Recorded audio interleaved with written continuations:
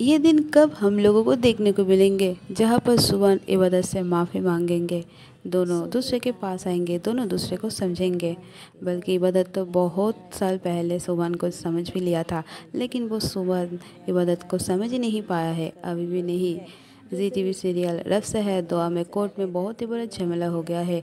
मन्नत का बातें सुनकर सुबन का दिमाग बहुत ही गुस्सा हो जाता है। उसके खिलाफ मन्नत ने ऐसा ऐसे कुछ बात किया है जिसे सुनकर सुबन भी हैरान हो चुके हैं कि किस किस्म का लड़की है जो एक, एक लड़की के ही बारे में इतना कुछ इतना मीन बातें बोल दिए है। ठीक से रेडू कब सुबह इबादत के पास जाकर माफ़ी मांगेंगे और इबादत इनकार कर देंगे? इबादत को भी ऐसा ही करना चाहिए जैसे कि सुबह ने भी उनके साथ पहले किया था।